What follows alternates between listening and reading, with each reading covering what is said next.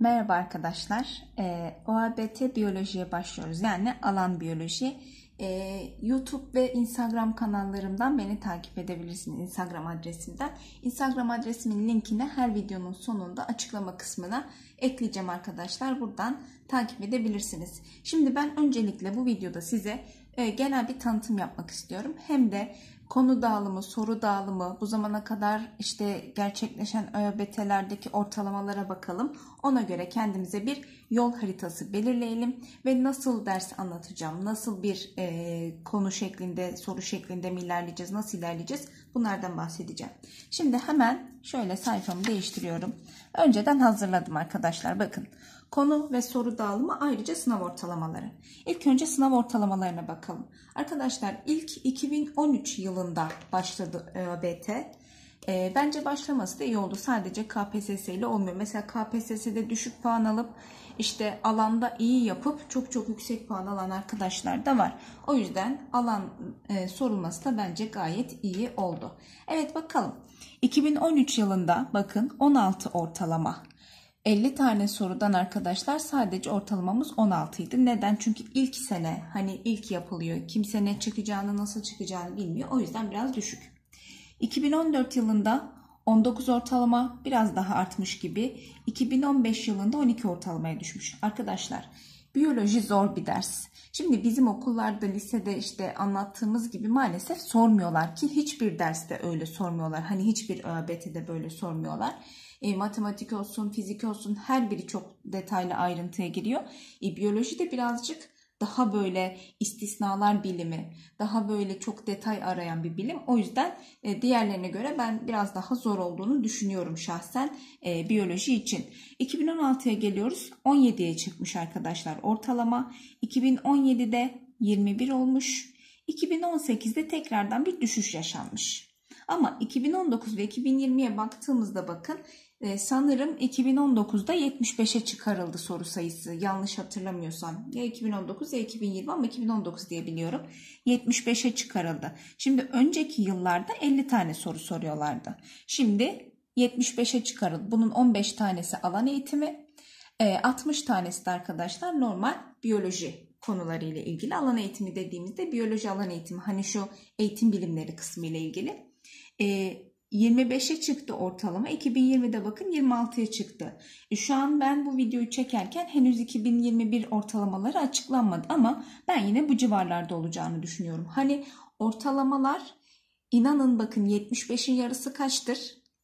75'in yarısı hemen hesaplayalım. E, 37,5 arkadaşlar.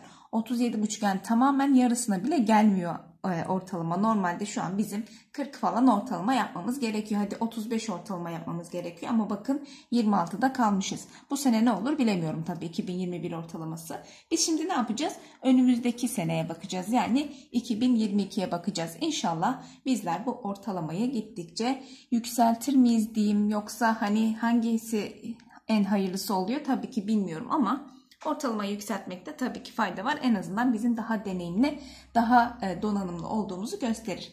Şimdi gelelim konulara ve bu konularla ilgili kaç tane soru sorduklarına. Arkadaşlar insan ve hayvan biyolojisinden 15 tane soru var. Hani şu sistemler kısmı var ya sistemlerden 15 tane soru var. En önemli kısım aslında baktığınız zaman 15 soru olduğu için burası. Hücre ve metabolizmadan 12 soru var. Bu da hiç e, az bir soru değil tabii ki. Genetik ve evrimden 12 soru var. Genetik ve evrim dediğimiz bu işte popülasyon genetiği, normal kalıtım soruları.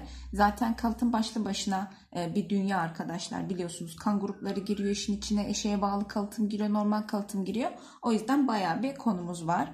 Ekoloji 7-8 soru soruluyor arkadaşlar ekolojiden. Ekoloji de oldukça önemlidir. Kolay gibi görünebilir ekoloji ama aslında birazcık e, dikkat edilmediği zaman çok fazla soru kaçırabileceğimiz yerler olabilir. Bitki biyolojisi. Evet genellikle e, biyoloji öğretmenlerinin çok fazla sevmediği kısımdır arkadaşlar bitki biyolojisi. Ben kendim için de söyleyeyim. Çünkü hani hayvan biyolojisini, insan biyolojisini anlatırken biraz daha böyle kendinizden bir şey olduğu için mesela insan biyolojisi e, anlatabiliyorsunuz. Hani seviyorsunuz. Bitki biyolojisi çok böyle e, kesin yargılar, işte kesin şeyler var orada ve çok karıştırılabilir kavramlar var. O yüzden bitki biyolojisi bizi biraz zorlayacak ama tabii ki vazgeçmeyeceğiz. Yine 7-8 tane soru var buradan.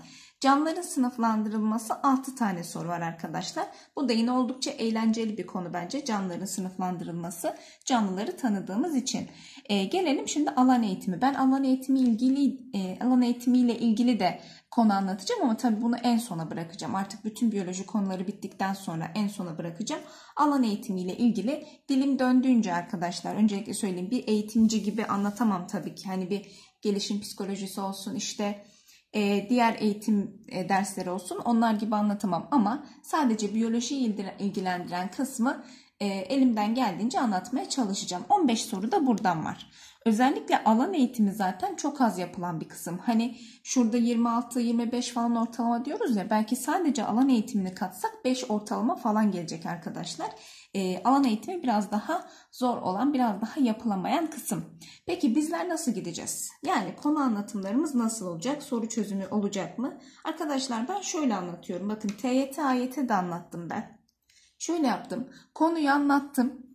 Daha sonra konular bitiyor ya mesela canlıların ortak özellikleri anlattım. Canlıların ortak özellikleri ile ilgili kendi elimle yazdığım e, yaklaşık 15 soru hani ortalama 15 sorudan oluşan bir test çözdüm. Bir sonraki videoda yani her konunun sonunda bir soru çözümü yaptım. E, alan biyolojide de aynısını yapmayı düşünüyorum. Hani bir aksilik çıkmazsa şu an birkaç tane videomuz hazır zaten yükleyeceğim. E, alan biyolojide de arkadaşlar aynısını yapmayı düşünüyorum. En azından şöyle bir pekiştirme hani bir 15 soruyla işte 14 soruyla bir pekiştirme yaparız. Tabi sizler de yine elinizde bulunan kitaplardan mutlaka soru çözümü yapın. E, kaynak önerisi hakkında şöyle bir şey söylemek istiyorum. Zaten çok fazla biyoloji ile ilgili kaynak yok. Ben arkadaşlar e, konu anlatımı olsun, soru çözümü olsun belirli kaynaklarım var. Hani isimlerini de söyleyeyim sıkıntı değil. Pegem'le ihtiyaç yayınlarından ben konu anlatımını yapacağım. Ve ayrıca kendi elimde bundan işte üniversite kitaplarım, üniversitede bulunan notlarım mesela omurgalılarla ilgili notlarım var. Gayet güzel anlatmıştı hocamız. İşte omurgalılar, omurgasızlar bunlarla ilgili kendi notlarımdan da ekleyeceğim. Ama e, genel olarak dediğim gibi PEGEM ve ihtiyaç yayınlarından devam edeceğim ben konu anlatımına ki zaten e, bunlar da e, iyi bir şey yapmış. E, nasıl diyeyim? Herkesin kabul ettiği bir yayın sistemi e, PEGEM'le yargı. O yüzden ben bu ikisi pardon PEGEM'le ihtiyaç. Bu yüzden ben bu ikisinden devam etmeyi düşünüyorum. Evet bu şekilde e, Bismillah diyelim başlayalım arkadaşlar. Bu tanıtım videomdu. Özellikle işte konu soru dağılımı sınav ortalamalarından bahsetmek istedim. Bizler bu sene inşallah 2022'de artık biyolojiyi halledip Genel kültür, genel yeteneği de tabii ki çalışmanız gerekiyor ama alana biraz daha önem verelim. Çünkü alanda ortalama, ortalamalar gördüğünüz gibi oldukça düşük, çok yüksek değil. Gittikçe artıyor. Ha, bu iyi bir şey mi bilmiyorum tabii ki. Yani iyi de olabilir, kötü de olabilir. Ama bir yönden iyi. Şöyle e, bizim biraz daha donanımlı hale gelmemizi sağlıyor bence böyle ortalamaların artması. Bir yandan da ortalamalar artarsa puanlar düşer mi acaba diye bir korkuya kapılabiliriz. E, iyi yönü de var tabii ki kötü yönü de var. Ama biz ne yapacağız? Kendimizi her türlü hazırlayacağız arkadaşlar. Genel kültür, genel yetenekten, eğitim bilimlerinden e, kısmadan onlara da çalışarak alana e, çalışarak arkadaşlar inşallah bu sene 2022 KPSS'yi hallederiz diyorum. Evet İlk videomuzla e, kısa bir zaman, kısa bir süre sonra yükleyeceğim arkadaşlar. Sonraki videolarda görüşmek üzere. Hoşçakalın.